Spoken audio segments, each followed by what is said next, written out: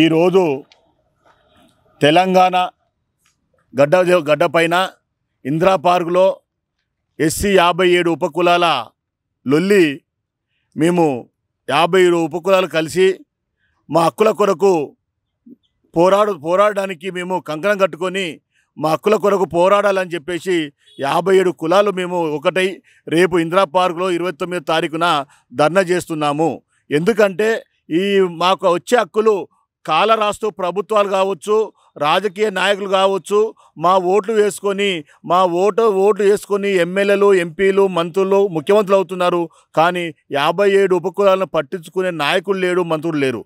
ఈరోజు గౌరవ ముఖ్యమంత్రి గారిని అడుగుతూ ఉన్నాం.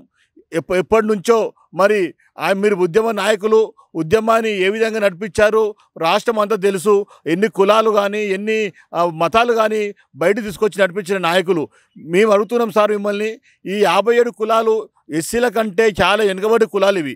ఈ కులాలను మీకు ముందు తీసుకురామని చెప్పి మీకు మాకు దళిత బంధు ముందు ఇవ్వాలని చెప్పి కోరుతున్నాం. దళిత బంధు మాకు అందడం లేదు. యాభై ఏడు కులాలకు ఈరోజు కూడా ప్రతి నియోజకవర్గంలో ఎక్కడ మా ఉపకులాలకు ఇచ్చిన దాఖలు లేవు ఒక పర్సెంట్ కూడా లేదు. అందుకని మేమంతా కలిపి ఏ ఏకమైపోయి యాభై ఏడు కులాలు ఏకమైపోయి ఎస్సీ ఉపకులాలు కలిపి మేము పెద్ద ఎత్తున దళిత బంధు రావాలని చెప్పేసి రాజకీయ వాట రావాలని చెప్పేసి భవనాలు రావాలని చెప్పేసి అదేవిధంగా ఎన్ని మా ప్రత్యేక ఫైనాన్స్ కార్పొరేషన్ ఇవ్వాలని చెప్పేసి మేము ఈ యొక్క దండ కార్యక్రమం పెడుతూ ఉన్నాము.